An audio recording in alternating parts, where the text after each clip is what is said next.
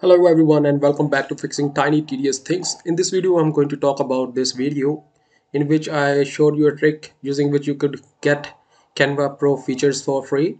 And most of the people are commenting here that this is no longer working. And yes that's right it is no longer working because Canva filters have found out this trick and they have kind of restricted those people who were doing this so we are not able to use this trick anymore. So i'm already working on the new one.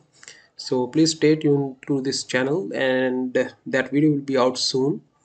I'm already working with some of the people who are already pro users. So we are going to do something that can get you the pro membership for free.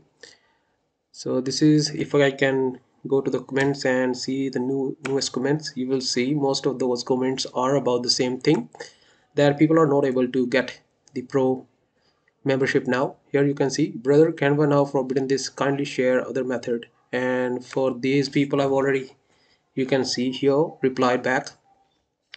Again you can see the other comments how to use canva is not showing not working anymore. Bro please reply me.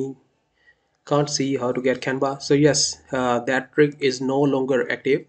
But yes we are working on the new one and that will be out soon thank you so much for showing so much love to this video.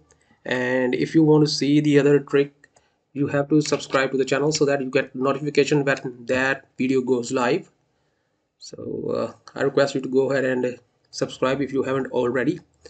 So this was the video about the canva trick which is no longer working. So thank you for watching and have a good day. Bye bye